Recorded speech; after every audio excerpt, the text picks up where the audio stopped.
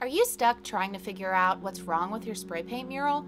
Like the colors aren't blending correctly. You can't seem to layer one color on top of the next and have it look right. Maybe the surface itself is starting to look like a popcorn ceiling. I have an idea what might be wrong with your mural and a solution for how to fix it. Over a year ago, I started a giant portrait. It was only my second attempt at painting a full color portrait, and my largest by far. I was still pretty new to this, so I made plenty of mistakes. Since I was still trying to figure out the colors and how to blend them and which colors to use, I wound up using a lot of paint. I also realized that I wasn't shaking my cans enough. If you want to know how to properly shake your can, you can see the video right here. Anyway, I applied a ton of dusty layers to my portrait thinking that's how the colors are supposed to blend. This is what I'm supposed to do. Maybe if I layer a little bit of this on top of that, then it will look like this. And it didn't quite come out exactly how I was thinking. This is what it looks like. As you can see here, the paint is really uneven. Uh, no matter how many layers I put on top of this thing, the layers that I had underneath kept showing through. And so I was taking my fingers and I was brushing them against the wall, and it feels very rough. And I could actually scrape off in some areas all of that layered paint. So I realized that I had way too many dusty layers. If you try to get the airbrushed effect like too much, then you'll wind up having a painting that kind of looks like this. This is her forehead. And this particular area especially, I just couldn't seem to fix. No amount of paint that I would paint over that would fix it.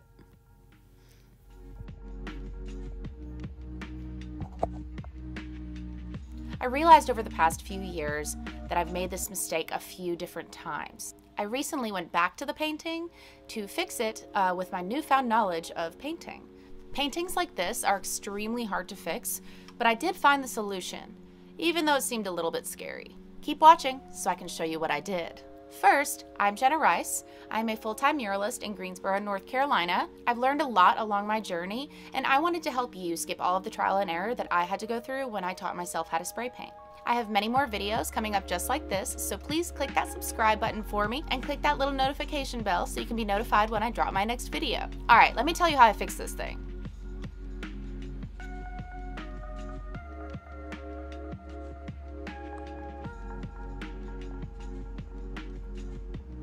Yeah, so after a lot of thinking, and after going through in my mind of all the different things I could possibly do to fix this thing, I decided to take a leap of faith. I decided to paint over it. Don't freak out. It's not the end of the world. Sometimes you just need to start over to make things better. Sometimes the second time you paint something, it will actually wind up looking a whole lot better. And this has actually happened to me a few times before. This is part of the learning process, guys. It's, it's necessary to fail in order to succeed in the long run. I understand if you believe that you wasted so much time on this. I probably wasted several days to several weeks working on this portrait, trying to get it right. I wasted a ton of paint, which means that I wasted money, I wasted time. But honestly, this was worth it. So this is the full portrait right now. Uh, it is a mess.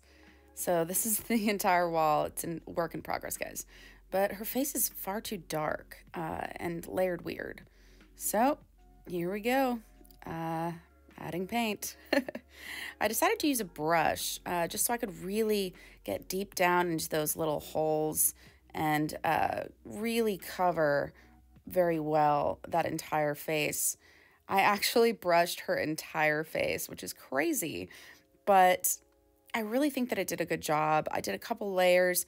Honestly, now that I'm looking at it and after repainting it, I realized that I probably should have added one more layer.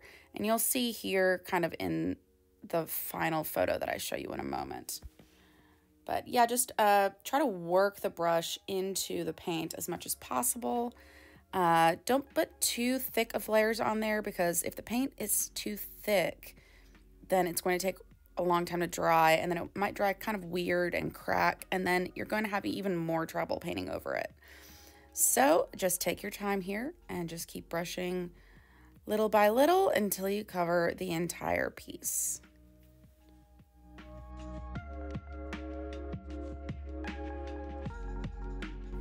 So if you look closely here, it actually still kind of looks uneven. Uh, I really do wish that I put another layer on there, but it's too late now. Here I go. Uh, I have a full time lapse for you guys to show you the entirety of my repainting.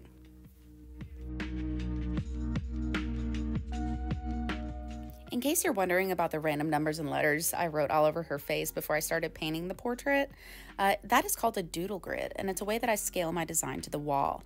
If you'd like to learn more about what a doodle grid really is, you can click on the link above.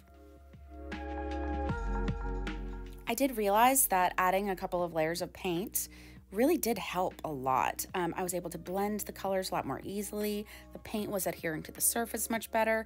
And this time, with a year's more experience, I was able to get the proportions more correct and blend it a lot better. And this time, I was really careful to not use too many dusty layers and too much paint.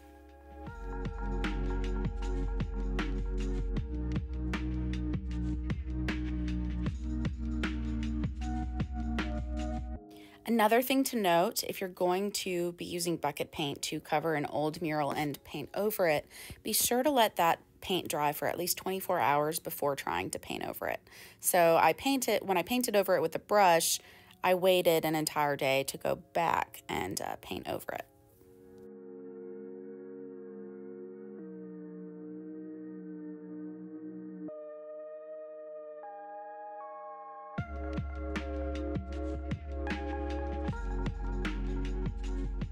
So this portrait is part of a big wall that I am painting for Kotis Street Art in Eden, North Carolina. If you'd like to hear more about this project in particular, I'll give you some more details in the description below.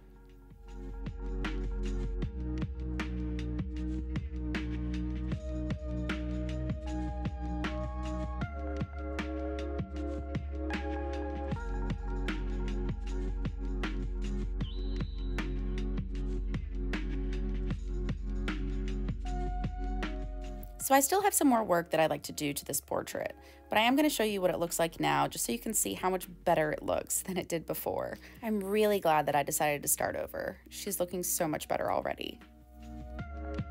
So, I learned my lesson the hard way, but that's okay.